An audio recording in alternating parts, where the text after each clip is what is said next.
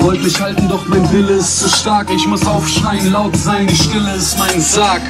Ihr wollt uns gerne scannen und sperren. Wir freuen uns schon, euch kennenzulernen. Leben und wir brennen im Kern. Glaubt mir, wir werden uns wehren. Viva la Revolution, ey, was geht ab da? Ich leg euer Pipa Popa jetzt an Akta. Ey, mach mal Platz da. Ich hab meine Meinung, die kommt frisch aus meinem Kopf und nicht aus eurer Zeitung. Viva la Revolution, ey, was geht ab da? Ich leg euer Pipa Popa jetzt an Akta. Ey, mach mal Platz da. Ich hab meine Meinung, die kommt frisch aus meinem Kopf und nicht aus eurer Zeitung. Ihr wollt manipulieren und über meinen Geist bestimmen. Was ist mein Leben wert, wenn man mir die Freiheit nimmt? Ich will kein Sklave sein, schickt die Datenkraker heim. Ihr wollt mich filtern, doch ich bin kein Kaffee und ich sage nein. Das ist meine Melodie, scheiß auf euer Geld. Und ich pfeife auf die Welt voller fliegender Kameras und digitaler Todesstrafe. Es gibt keine Infos, dafür Input in die Kokernase. Es scannen sie die Kommunikation und dann kommen sie uns holen, aber wo bleibt unser Recht? Sorry, aber diese Zeile wurde soeben gelöscht. Ihr wollt uns gerne scannen und sperren. Wir freuen uns schon, euch kennenzulernen. Wir leben und wir brennen im Kern. Glaubt mir, wir werden uns wehren. Viva la Revolution, ey, was geht ab da? Ich leg euer Pipa Popa jetzt an Akta. Ey, mach mal Platz da, ich hab meine Meinung, die kommt frisch aus meinem Kopf und nicht aus eurer Zeitung. Viva la Revolution, ey, was geht ab da? Ich leg euer Pipa Popa jetzt an Akta. Ey, mach mal Platz da, ich hab meine Meinung, die kommt Zeitung. Ich weiß nicht, ob manche Leute keine Mutter haben und keinen Vater haben oder selber nicht mal klein waren und mal äh, auch diese Probleme haben, die wir jetzt alle haben. So, darüber bin ich selbst sehr verwundert. Ich habe keine Frage darauf, was nur los ist, aber ihr seid schöne Menschen. Danke, dass ihr heute hier seid. Mir ist das irgendwie total egal, was die von mir halten. Ich bin, ich bin mein eigener Mensch. Viva Revolution, ey, was geht ab da? Ich leg euer Pipa Popa jetzt an Akta. Ey, mach mal Platz da, ich hab meine Meinung, die kommt frisch aus meinem Kopf und nicht aus eurer Zeitung. Viva la Revolution, ey, was geht ab da? Ich leg euer Pipa Popa jetzt an Akta. Ey, mach mal Platz da, ich hab meine Meinung, die kommt frisch aus meinem Kopf und nicht aus eurer Zeitung. Das wollte ich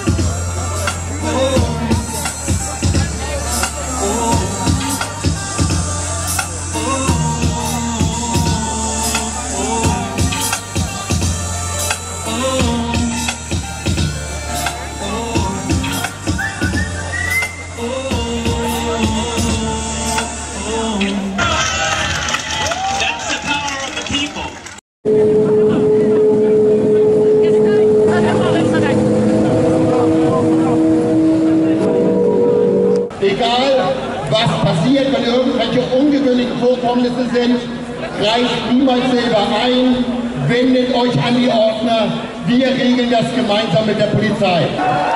Wir gehen von hier aus.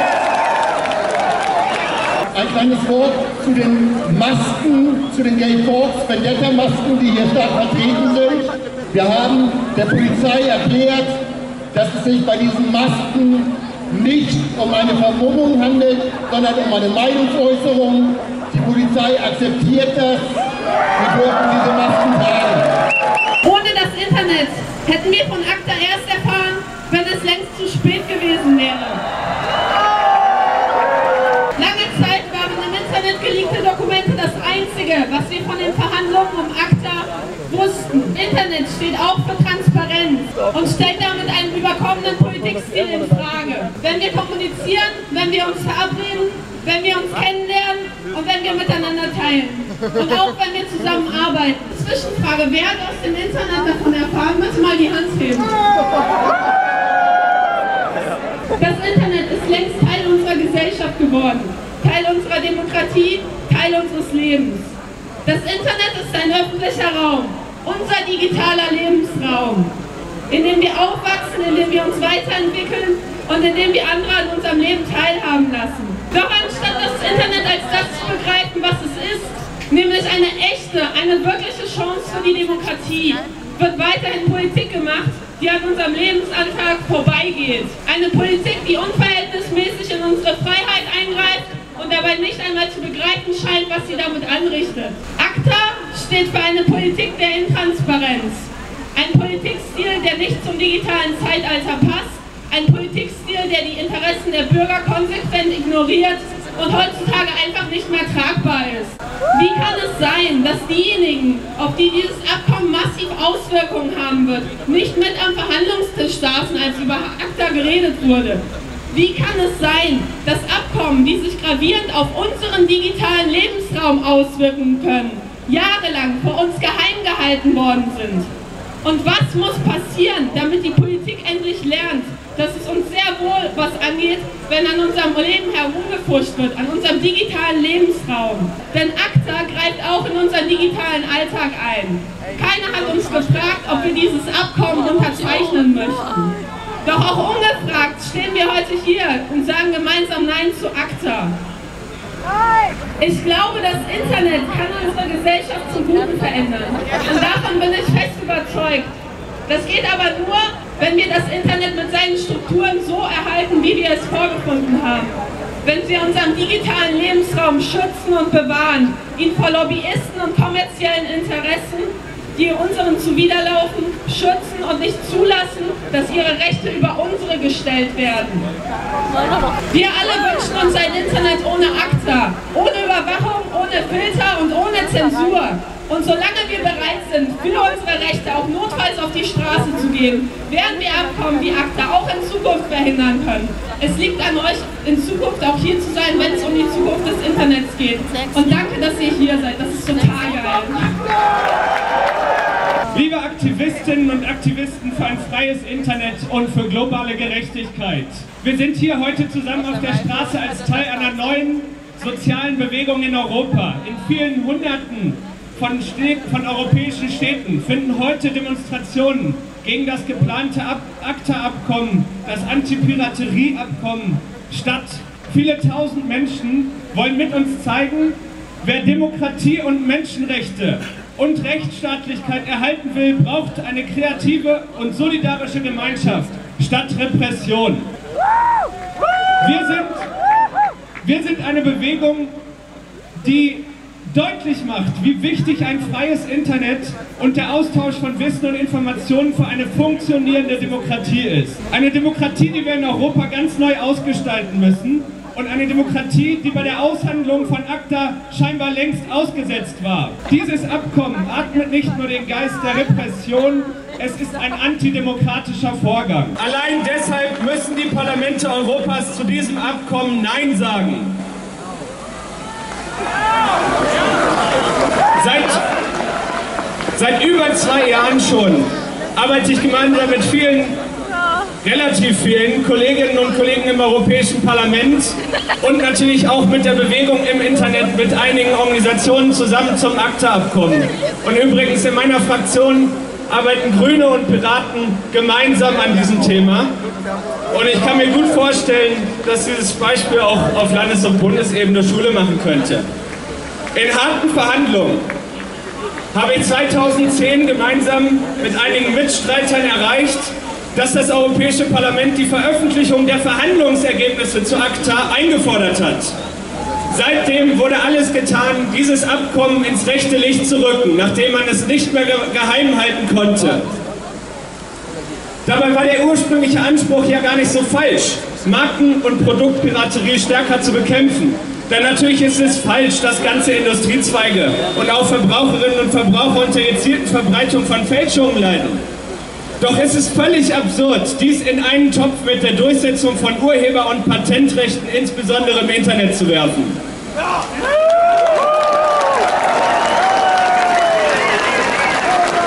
Es ist ebenso falsch, ein solches Abkommen ohne Schutzbestimmungen für dringend benötigte Generika-Medizin und für Technologietransfer in Entwicklungshände auszuhandeln. Es ist falsch, dass dieses Abkommen unter Ausschluss der Entwicklungs- und Schwellenländer verhandelt wurde. Und hier kommen wir zu einem zentralen Punkt der Demokratie. Wie kann es sein, dass eine Art der Koalition der Willigen dieses Abkommen gemeinsam möglichst intransparent verhandelt, um dann sozusagen die anderen Länder mit an Bord zu holen, die berechtigte Interessen im Rahmen der WTO immer wieder geäußert haben und deswegen nicht Teil dieser Verhandlungen waren. Hier wird die internationale Gemeinschaft aktiv hintergangen, die sich ja bereits in der WTO und in der WIPO auf Regeln geeinigt hat. Aus meiner Sicht zum Teil deutlich falsche Regeln, aber immerhin besser als das, was jetzt ACTA normiert. ACTA geht komplett in die falsche Richtung. Dieses Abkommen soll einigen einflussreichen Rechteinhabern zugutekommen, die durch teures Lobbying, jahrelanges Lobbying in Washington und in Brüssel ihre Gewinne steigern wollen. Für die, Musik, für die Musikerin, für den Künstler, die Autorin und den Journalisten bleibt dabei wenig über. Alternative Wege zu einer Stärkung ihrer Position im digitalen Zeitalter sind Fehlanzeige.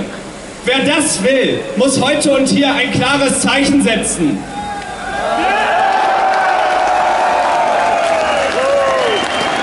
Deshalb sind wir hier und fordern die Bundesregierung und die EU-Kommission auf, endlich neue Wege zu gehen.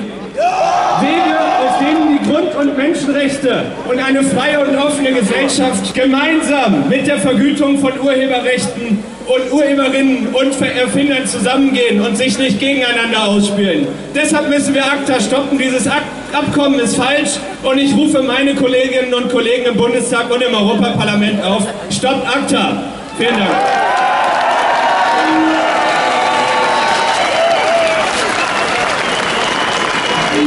Wir vom Chaos Computer Club sind Unterstützer dieser Demonstration, weil wir es wichtig finden, die größte Erfindung des 20. Jahrhunderts gegen die alten Herren einer veralteten Gesellschaft zu verteidigen.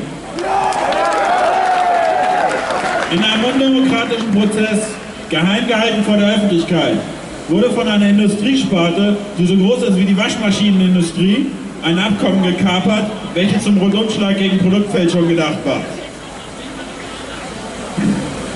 Wie wir alle erfahren haben, verändert das Internet die Welt. Genauso wie die Eisenbahn damals wirft das Internet viele Paradigmen des 19. Jahrhunderts über Bord und verändert sowohl die Gesellschaft als auch die Industrie. In der Summe waren diese Veränderungen positiv, aber es gab dabei auch Industriesparten, die unter diesen Veränderungen zu leiden hatten.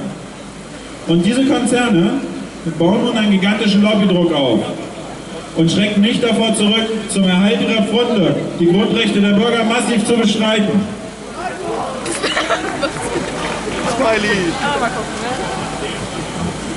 Und wir sind heute hier, weil wir unsere höchst privaten Daten nicht jedes Mal, wenn wir online gehen, den Tranken privater Unternehmen unterlassen möchten.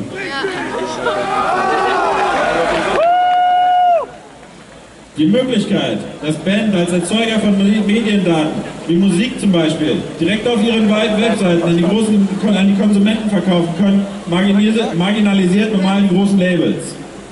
Es bedroht ihre Existenz. Und der äh, Druck, der sich daraus entsteht, ist der Grund, warum wir uns mit solchen Abkommen hier, mit ACTA, mit SOPA und mit PIPA und so einem Scheiß rumschlagen müssen.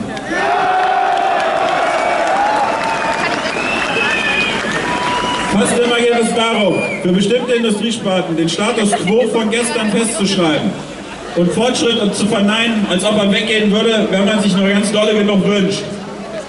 Wir alle wissen, dass das ungefähr so sinnvoll ist, wie Gesetze gegen die Gravitation zu erlassen, aber das haben einige von denen wirklich noch nicht begriffen. Das Internet ist unser digitaler Lebensraum und wir beziehen unsere Informationen über die Welt aus dem Netz. Internetprovider sind unsere Schnittstellen in diesem virtuellen Raum. Durch ACTA werden unsere Internetprovider vor eine scheinbare Wahl gestellt. Entweder sie haften für die Urheberrechtsverletzung ihrer Kunden oder sie lassen sich zwingen, zu Sheriff der Content Mafia, der Content-Industrie zu machen. ACTA wird der Content-Industrie eine Macht geben, die teilweise über die Möglichkeit von Polizei und Geheimdiensten äh, hinausgeht. Und übrigens, beim nächsten Zwischenfall werden die das nicht lange auf sich setzen lassen, aber da reden wir dann bei der nächsten Demo, glaube ich, drüber. Deep Packet Inspection, wie sich das Ganze technisch nennt, wird schwerwiegende Konsequenzen haben. Es bedeutet, dass euer Internetanbieter eure Kommunikation ständig mithören und überwachen muss. und schauen muss, ob ihr was Böses tut. Das heißt zu Hause, wenn ihr euch mit euren Freunden über das Internet unterhaltet, auf der Arbeit, wenn ihr mit den Geschäftspartnern über Voice over IP telefoniert oder auch wenn ihr unterwegs seid, um mit eurem Handy das neueste Bild von der Demo gegen ACTA auf Facebook hochzuladen oder eine E-Mail zu lesen. Und das alles nur um zu prüfen, ob ihr nicht zufällig irgendwie den aktuell neuesten Song drauf kopiert. Verteilt im Internet. Es bedeutet, dass eure Internetanbieter euch vom Internet abklemmen müssen, wenn jemand von der Content-Industrie sagt, der tut Böses. Nicht von der Polizei. Die Konsequenzen von eigentlichen Bagatelldelikten wird drastisch sein. Und diejenigen von euch, die einen Job in der Internetindustrie haben, werden wohl beurteilen können, dass sowas quasi ein Berufsverbot ist. Wer mit ACTA und dem Urheberrechtsregime nicht einverstanden ist, muss auf die Straße gehen und dagegen äh, demonstrieren. ACTA ist intransparent, undemokratisch und schädlich. Es zementiert ein überkommenes Urheberrechtssystem, verhindert Innovation und schadet Menschen und Gesellschaften auf der ganzen Welt für die Interessen einer vergleichsweise kleinen Industrie. Wir fordern die Bundesregierung auf, sich klar von diesem Vorhaben zu distanzieren und ACTA ein für alle Mal zu stoppen.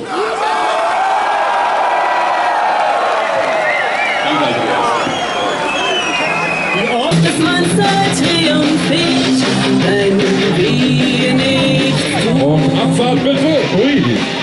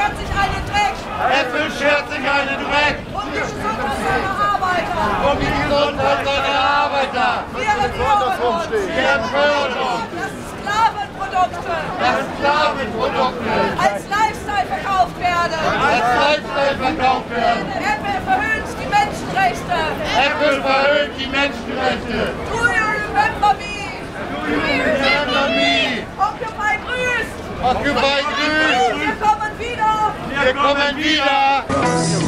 It's carnival, right? We don't hear a chorus. So here's a small deal. We don't want you right. But we'll take ours and more before yours, mate. Sure, that's alright. So then producers and studios go on the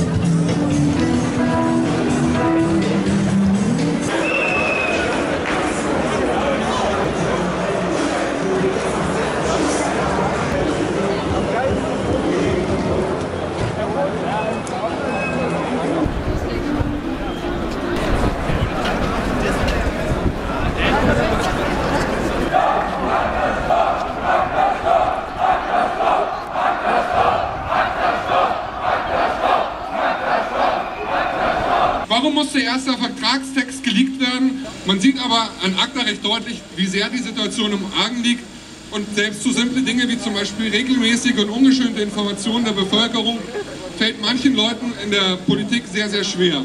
Auch wir hier in Hamburg haben dieses Problem. Es wird gerade in der Hafen City gebaut. Man hat uns versprochen, das Ganze kostet 77 Millionen Euro. Geheimverträgen sei Dank kostet das Ganze jetzt 476 Millionen Euro. Ja, genau, Geheimverträge wieder mal.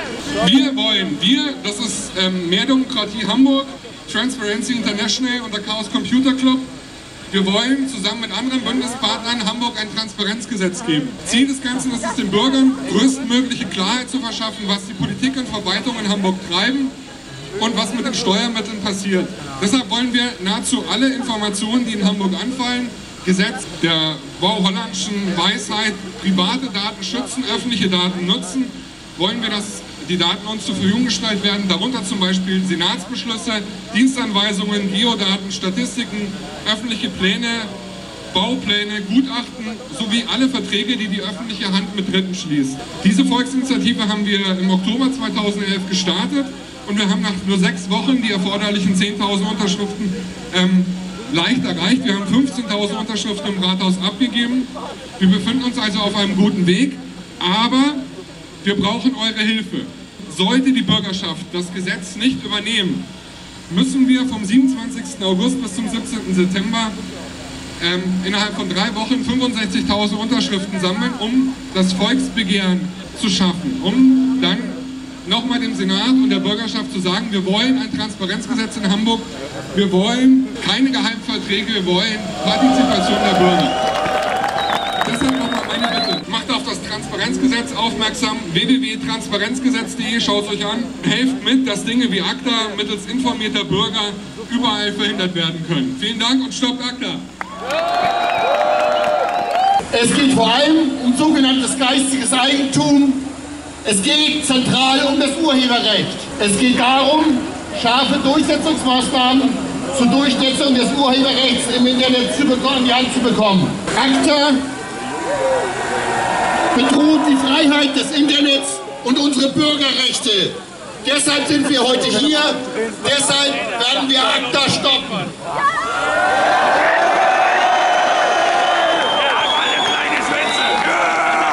Ich möchte mit euch jetzt aber einen Sprung auf die andere Seite der Welt machen. Wenn wir an Produktpiraterie denken, sehen wir vor unserem inneren Auge in den Dritte Welt- und Schwellenländern schnell die Täter, die dort die Fälschung herstellen, mit denen wir anschließend betrogen werden. Ich möchte aber heute hier mit euch eine andere, eine etwas weniger beachtete Seite beleuchten. ACTA würde sich bei Umsetzung lebensbedrohend auf die Bevölkerung armer Länder auswirken.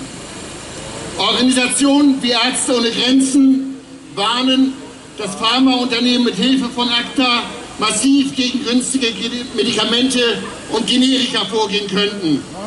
Und dass deswegen in Entwicklungsländern die gesundheitliche Vorsorge, Versorgung der Bevölkerung bedroht ist. Mehr als 80 Prozent der Medikamente die Ärzte ohne Grenzen in ärmeren Ländern zur Behandlung von HIV und AIDS verwendet, um allein damit rund 160.000 Patienten zu versorgen, werden in Indien produziert. Bis zu 90 Prozent der HIV- und AIDS-Medikamente, die von internationalen Gebern, wie zum Beispiel den europäischen Regierungen, im Jahr 2008 gekauft wurden, stammen von Generika-Produzenten aus Indien. Für Millionen von Menschen, die derzeit eine Behandlung erhalten oder auf diese warten, wäre es katastrophal, wenn ACTA den Zugang zu diesen kostengünstigen Medikamenten versperren würde. David Hachfeld von Oxfam warnt vor den weitreichenden Befugnissen, die ACTA den Pharmaunternehmen einräumt. Es genügt der bloße Verdacht einer Ähnlichkeit zu einem geschützten Medikament, um per Antrag Medikamentenlieferungen von Zollbehörden stoppen zu lassen.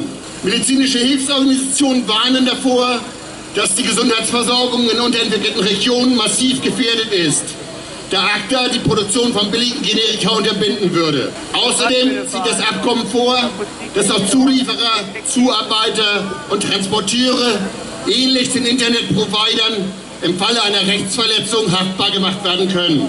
Allein dadurch würden die Produktionskosten für die lebenswichtigen Medikamente steigen. Viele Länder fürchten nun einerseits um ihre Gesundheitsversorgung und andererseits um die Lebensmittelproduktion, da ACTA auch Saatgut verknappen und verteuern würde. Auch Saatgut kann wie Generika und andere Produkte unter den Verdacht der Fälschung geraten. Sollte das ACTA-Abkommen umgesetzt werden, sehen medizinische Hilfsorganisationen erhebliche Probleme für die Behandlung von Menschen in Entwicklungs- und Schwellenländern.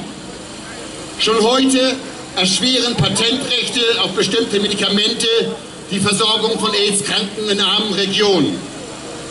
Mehrfach im Jahr beschlagnahmen Zollfahnder in europäischen Häfen oder Airports Medikamentenlieferungen aus Indien. Dabei sollen die Europa nur im Transit passieren, um zum Beispiel nach Simbabwe oder Malawi gebracht zu werden.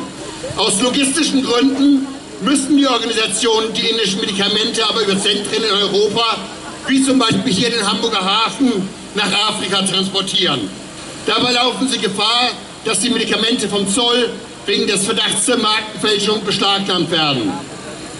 Und selbst wenn der Zoll dann feststellen müsste, dass es sich um legale Generika handelt, würden solche Transporthindernisse lebenswichtige Medikamente inakzeptabel verteuern. Ein AIDS-Kranker kann in Afrika für 67 Dollar, das sind rund 50 Euro, behandelt werden. Zurzeit. In Deutschland kostet der gleiche Medikamentencocktail 14.400 Euro. Aktuell hängen etwa 5 Millionen Menschen in Afrika, die an einer AIDS-Therapie teilnehmen, von indischen Generika. Hilfsorganisationen wie Medico International oder Ärzte ohne Grenzen halten die bisherigen Versuche, den Arzneimarkt zu regeln, für falsch. Besser wäre es von Indien, einfach eine Pauschalzahlung zu verlangen. Auch hätte die Pharmaindustrie natürlich die Möglichkeit, günstige Lizenzen nach Indien zu vergeben oder auch selbst günstige Generika für bestimmte Regionen zur Verfügung zu stellen. Wir kennen dieses Geschäftsprinzip alle aus den Supermärkten, wo wir täglich gleiche Produkte einmal als Markenprodukt oder auch als No-Name-Produkt beim Discounter kaufen können. Wir sind heute hier, um unsere Bürgerrechte und die Freiheit des Internets gegen die Begehrlichkeiten der Verwertungsindustrie, der Content-Mafia zu verteidigen.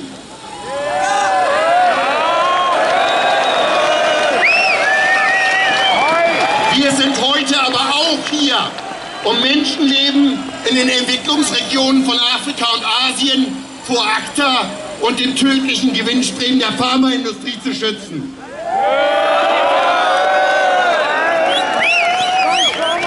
Millionen Menschen in ärmeren Ländern sind zum Überleben auf kostengünstige generische Medikamente angewiesen. Millionen Menschen können durch ACTA sterben. Angesichts der heutigen Proteste wurde die Unterzeichnung gestern vom Auswärtigen Amt auf Eis gelegt. Das reicht uns aber nicht.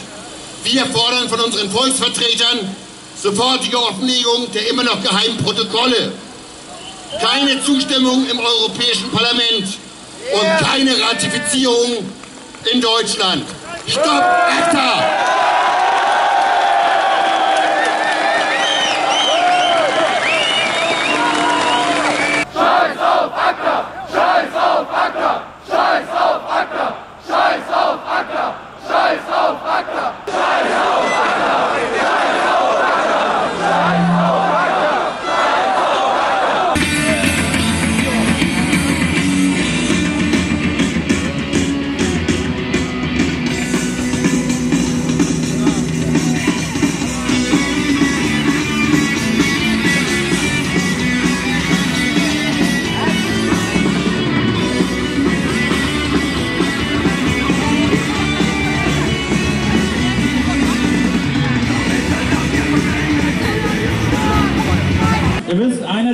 Eigenschaften des neuen des Internets ist, dass wir jetzt alle Medienproduzenten geworden sind. Viele von euch haben Facebook-Account, Twitter-Account, sind Neingänger, hängen auf Fortune rum. Ich will das auch von euch auch noch richtig ordentlich laut dort sehen, dass wir mit ACTA nicht einverstanden sind.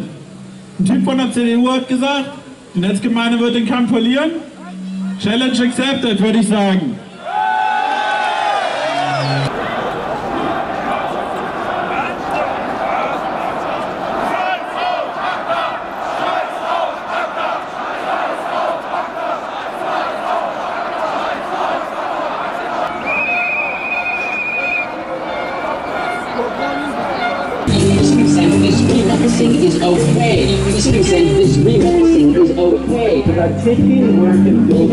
Is okay. About taking work and building on top of it.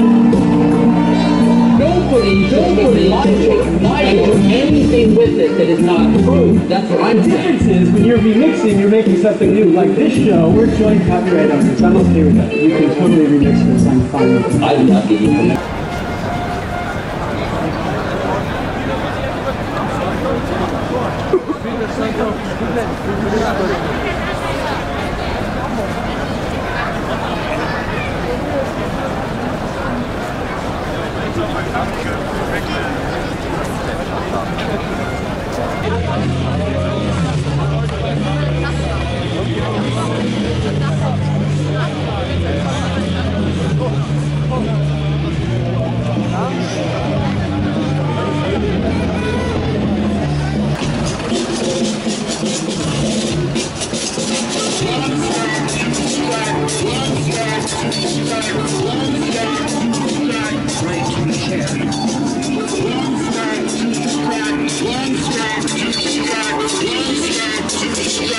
wait to share.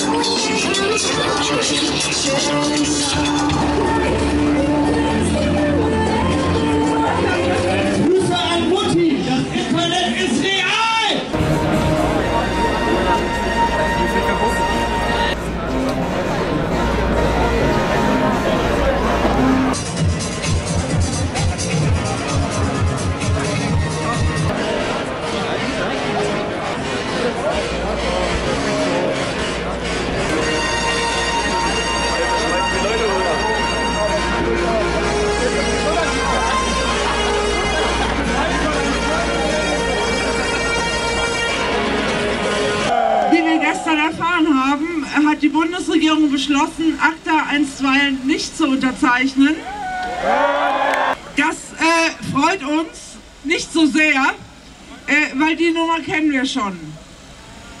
Damit hoffen sie, die Leute zu beruhigen, um in einigen Monaten dann das Ganze vielleicht unter etwas anderen Namen anders verpackt uns doch noch andrehen zu können. Das wird nicht laufen. Frau Merkel, wir können Ihnen jetzt schon sagen, dieses Gesetz werden Sie nicht durchlächeln und durchwinken.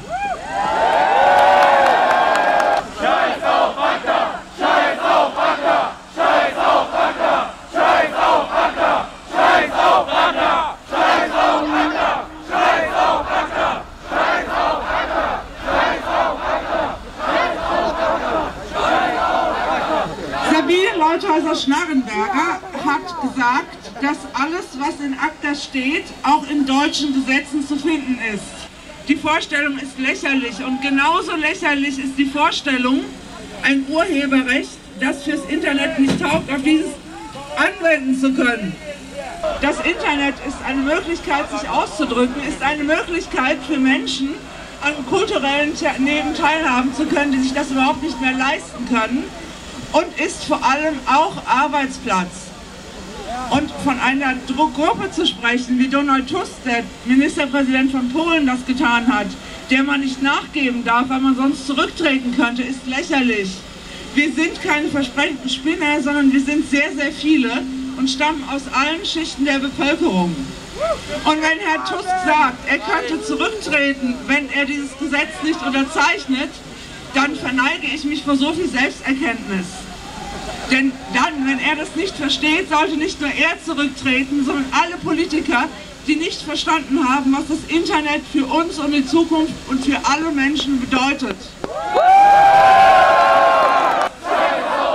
Und wir fordern die Politiker, die an diesem Gesetz mitgearbeitet haben, auf, ihren, ihren Kopf aus dem Arsch der Verwertungsgesellschaft zu ziehen und sich an,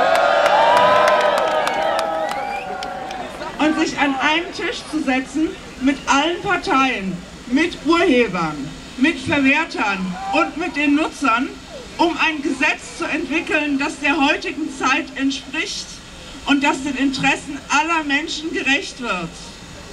Die Politik ist nicht dazu da, die Interessen von Verwertungsgesellschaften zu stützen und veraltete Geschäftsmodelle am Leben zu erhalten, die der heutigen Zeit und den technischen Möglichkeiten nicht mehr gerecht werden.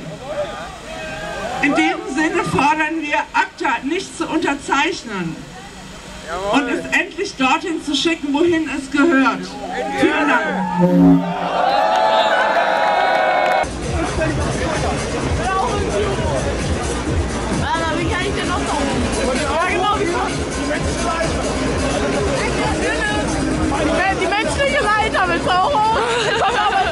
Runter. Runterspringen! Ja, vielen Dank. Also ich wurde gebeten, am Ende auch noch mal was zu sagen. Ich denke, wir haben jetzt einiges gehört. Anne hat auch sehr gut äh, nochmal die Kernforderungen rausgestellt, die wir haben. Wir wollen nicht ACTA, wir wollen eine andere Art des Zusammenlebens im Internet mit allen gemeinsam Kre Kreativität und Solidarität auch fördern. Dieses, dieser Protest, den wir hier zeigen gegen ACTA, der ist nicht gerichtet gegen die Urheber, gegen die Künstler, gegen die Journalisten. Nein, er ist nicht gegen diese Leute gerichtet, er ist gerichtet gegen ein Abkommen, das das falsche Recht, das falsche Recht im Internet durchsetzen will und das die falschen Mechanismen, die falschen Maßnahmen ergreift. Die sind einfach unausgewogen und deswegen sind wir gegen ACTA.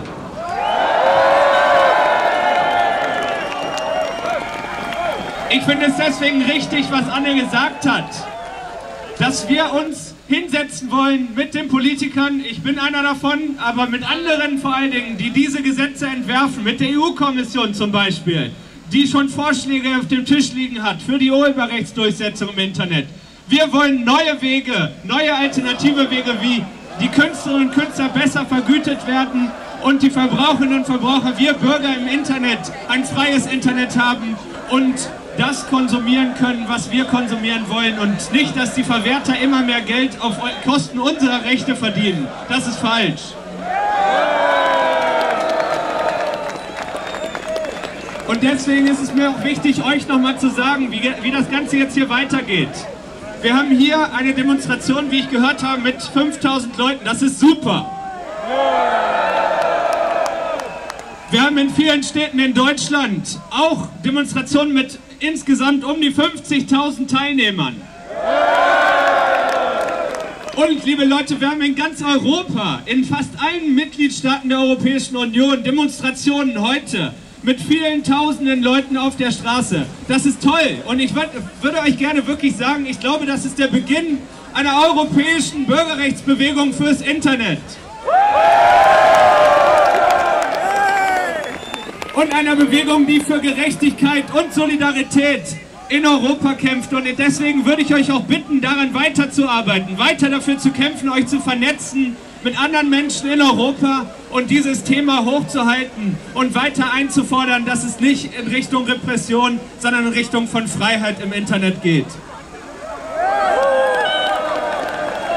Meine, meine Kollegen und ich im Europäischen Parlament werden vor dem Sommer oder nach dem Sommer, wann genau, das wird sich jetzt entscheiden, darüber abstimmen müssen, ob ACTA kommt oder nicht. Wir werden nur die Möglichkeit haben, Ja oder Nein zu stimmen. Das heißt also, ihr müsst dafür kämpfen, dass diese Abgeordneten mit Nein stimmen, wenn ihr gegen ACTA seid. Und ich bitte euch, das wirklich zu tun, das die nächsten Monate zu tun, aber bitte dazu zu sagen, immer wieder, wir sind gegen ACTA, aber wir sind nicht gegen die Verwertung, gegen die Vergütung von äh, Interessen von Künstlerinnen und Künstlern, von denen, die kreativ sind, von denen, die schaffen. Aber wir brauchen neue Ver Vergütungsmodelle, wir brauchen neue Wege und die bitte auch einzufordern. Vielen Dank. So, wir haben uns zu diesem Thema womöglich nicht das letzte Mal gesehen. Tragt das Thema weiter, informiert eure Freunde, eure Familie, eure Nachbarn. Wir werden ACTA verhindern. Stopp ACTA! Stopp ACTA! Scheiß auf ACTA! Scheiß